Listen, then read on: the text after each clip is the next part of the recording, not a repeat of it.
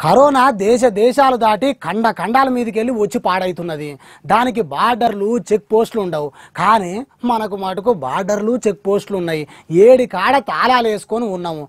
అంబులెన్స్లు ఏడికెళ్ళైనా పోవచ్చు రావచ్చు. ఈ కరోనా చేయబట్టి అంబులెన్స్లను కూడా రాణిస్తలేరు. ఆంధ్ర తెలంగాణ బార్డర్లో ఎట్లున్నదో చూడురి పరిస్థితి.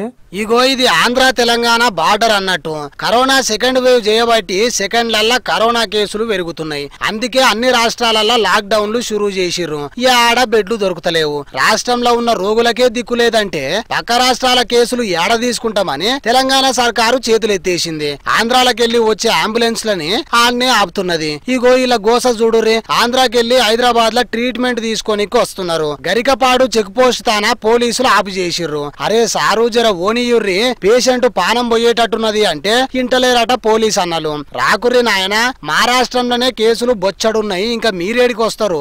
రాకూర్రి అని ఆపుతున్నారట. ఇది మంచి పద్ధతి అనుల్లా అంటే సర్కారు మాకు అట్లనే చెప్పింది మేము రానియం అంటున్నారట.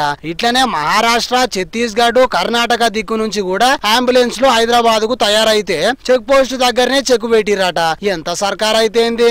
అంబులెన్స్లను ఆపే హక్కు మీకు ఎవరు ఇచ్చిర్రు అని హైకోర్టు కూడా సర్కారు మీద గరం అయ్యింది అంబులెన్స్ లా పేషెంట్ ఉన్నాడు అంటే మీరు ఏడికెళ్ళి వస్తున్నారో ఆ దవాఖానా ల్యాండ్ లైన్ నుంచి ఫోన్ చేపియుర్రి లేకుంటే పోనీయం అంటున్నారట. సెల్ ఫోన్ లా హాస్పిటల్ డీటెయిల్స్ చెప్పినా కూడా ల్యాండ్ లైన్ కెళ్ళి ఫోన్ వస్తేనే ఫోన్ ఇస్తాం అంటున్నారట. Make in India digital Bharat అని టెక్నాలజీ యుగం అంటనే ఉంటాం. కష్టం వస్తే మటుకు ల్యాండ్ లైన్ కెళ్ళే ఫోన్ రావాలి అంటున్నారంటే ఇంకేమనాలే ఇట్లున్నది కరోనా కాలంలో